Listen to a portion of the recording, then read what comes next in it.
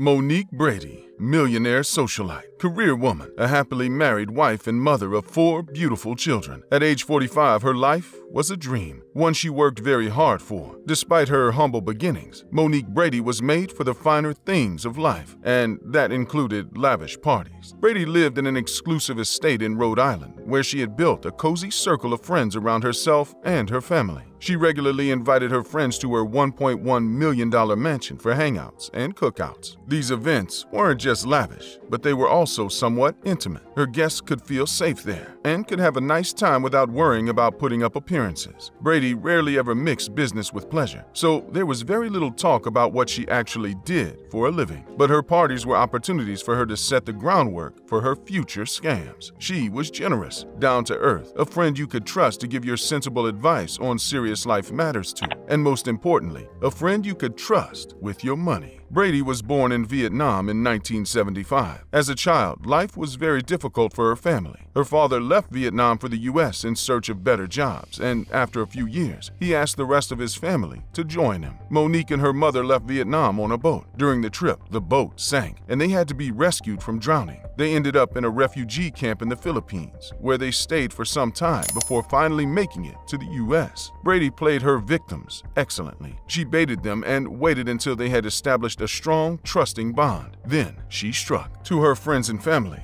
Brady was a calm and collected real estate entrepreneur who had her life together and was moving up in her career. Perhaps the thing that made her so unsuspecting is that she came off as someone who wasn't only very professional, but also very skilled in her field. She made her friends and family believe she was a sort of real estate developer whose job was to renovate houses facing foreclosure. It made sense, given the history of the real estate industry in America and the 2008 financial crisis. Banks had all these properties they didn't know what to do with. They were desperate to get the homes off their hands, and they had two options sell them wholesale for any price a buyer was willing to pay, or spend a little extra money renovating them, then sell them at a higher market value. This was where Brady came in. The banks would contact her agency, MNB, to help with the renovations. These contracts were usually worth up to $80,000. The only problem was that she had to front all the initial renovation costs to buy materials and pay subcontractors. So she convinced her targets to invest in these projects in exchange exchange for a 50% return on the amount they invested. She convinced about 31 of her friends and family members to invest because they believed they were making safe real estate investments with someone they could always trust with their money. The victims didn't think to question the scheme. Brady made her supposed real estate rehabilitation scheme more believable to potential investors by providing fraudulent emails seemingly from a national property rehabilitation company. The emails verified that the company had approved Brady to rehabilitate a property. They also included fraudulent itemizations of work her subcontractors would do on the property. At some point, she researched an actual employee of the National Property Rehabilitation Company and used the employee's identity, without permission, to make the emails look more authentic. Some investors invested in multiple projects, often rolling over their profits to invest in new projects. Brady always had a reasonable answer for every question the investors asked her. Whenever anyone requested their profits, she paid up front. Little did they know, she was robbing one person to pay the other. In reality, MNB never worked on any rehabilitation project, and banks only hired the company to perform menial tasks on foreclosed properties. These tasks often include mowing grass, changing locks, winterizing properties, boiler or electrical inspections, and snow removal. The projects were worth less than $1,000, some as little as $25. The majority of them were worth just a few hundred dollars. By 2018, Brady had scammed about 23 people for approximately 4.8 million. The Internal Revenue Revenue Service criminal investigation revealed that she had solicited funds to rehabilitate 171 properties. 98 of those properties were buildings her company was never hired to work on. The entire scheme was worth about 10.3 million. Lavish parties weren't the only thing Brady indulged in. She bought a $1.1 million home in one of the most exclusive and prestigious neighborhoods on Rhode Island. All her children attended expensive private school. She also purchased a collection of Louis Vuitton shoes and other luxury items. She went on expensive vacations abroad frequently, most times with her husband, kids, and other families. Brady also had a serious gambling addiction. To say that Brady's victims were shocked at the news that she was fraudulent is an understatement. Some of them almost didn't believe it. They all loved Monique, so the idea that she had betrayed their trust and friendship and scammed them was unfathomable.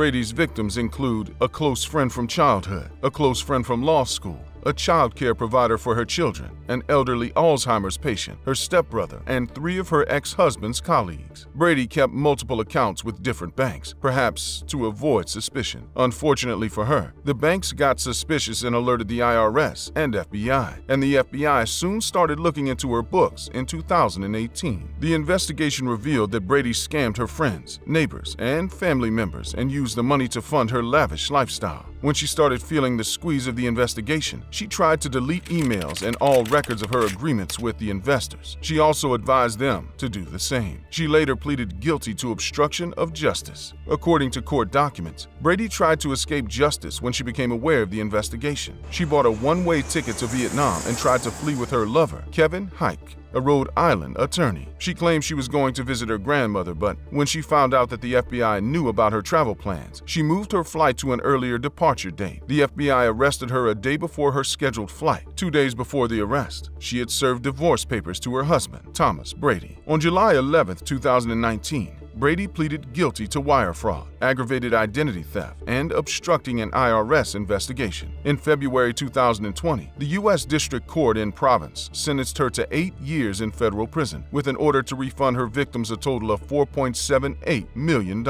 Brady has now asked the court to grant her a quick release and cut her sentence short so that she can take care of her children. She claimed that her ex-husband wasn't doing a good job of caring for their children, especially the one with special needs. Monique isn't the only person who had the trust of the community to run a scam, nor will she be the last. Hal Brown was another person who was highly respected in his community. His solid religious reputation and the respect that members of his local community gave him placed him in a perfect position to scam his friends, family, and neighbors. He was able to convince people to trust him with their money. The website for one of his companies, Oodles World, described him as an Asheville native, well known in the entertainment and marketing industries for his creative expertise and management and networking skills. Before Brown turned to the life of crime, he had a fairly successful entertainment career. His online biography states that he launched entertainment and production companies in California and Texas and has done extensive voiceover work. It also claimed that he's written and produced, quote, literally thousands of individual pieces and full musical scores for such clients as Disney, SeaWorld, NBC, ABC, NCBS, Fox, Warner Brothers, Paramount, Holiday on Ice, Universal Studios, McDonald's, Honda, Toyota, Coca Cola, and Kellogg's. If everything his website says is correct, Brown has had a successful career. Why did he feel the need to engage in fraud? Between 2007 and 2019, Brown defrauded at least 60 victims, amounting to 22.5 million. Many of them were at or near retirement age. A press release from the U.S. Attorney's Office described the scam as a sophisticated Ponzi scheme through his company Oodles Inc. and its various affiliates. According to Judge Bell, the district judge who later heard the case, he said, quote, Brown's conduct represented some of the worst fraud committed in the worst way and harmed some of the most vulnerable victims. He claimed that his company Oodles owned hundreds of millions of dollars in the intellectual property of family entertainment shows, movies with a religious theme, and so on. He repeatedly lied about his company selling intellectual properties to well-known media companies. The victims could make profits by investing in oodles in exchange for very high returns on their investment. To make his scheme appear more credible, Brown provided fake bank statements and falsified company agreements. Sometimes he would impersonate employees of well-known media companies. He also once impersonated a lawyer to make his scheme look legal and reduce suspicion. Brown pretended that he had ties to big media companies like Disney and Apple, claiming that his company had more than 420 intellectual properties worth several hundred thousand dollars. He once hired a freelance artist to create letterhead documents for companies like the Walt Disney Company, Paramount, Apple, and First Republic Bank. Brown would later tell law enforcement the letterheads were for his daughter's student organization competition. Brown repeatedly claimed innocence even after the police took him into custody and the court began his hearing. He made a video declaring his innocence and sent it to people he worked with in the past to solicit letters supporting his good character. With this misinformation, some of them actually wrote letters of support for him. According to the court documents, Brown maintained a flashy lifestyle with the ill-gotten funds. He would use the money he got from new investors to pay existing investors, like a Ponzi scheme. Whenever his victims asked for payments, he would produce fake bank statements and company agreements. One of them showed a record of 864 million worth of bank transactions. Brown scammed the elderly and retired people he was close to, including his family. Friends, neighbors, and fellow church members. Many of these victims would later testify against Brown in court. Brown's scams cost them a lot of damage, draining their nest eggs and forcing some of them to come out of retirement and start working again just to make ends meet. He scammed about 23 people, some of whom have filed complaints against him in the Buncombe County Superior Court. Brown often promised unbelievably high returns on investments. One of his victims, an Asheville resident, invested 1.8 million and Brown promised a return of 3 million. Another client invested 2.8 million and another $600,000. Brown's case hearing took place in Charlottesville in 2017. After all his claims of being innocent, he eventually pleaded guilty to securities fraud, wire fraud, and transactional money laundering for orchestrating a $13.7 million Ponzi scheme. The presiding judge, Kenneth D. Bell, sentenced him to 210 months in prison and three years of supervised release, in addition to ordering Brown to pay 17 million in restitution. Click to watch one of these next videos and let us know in the comments section if you believe in the statement, once a scammer, always a scammer.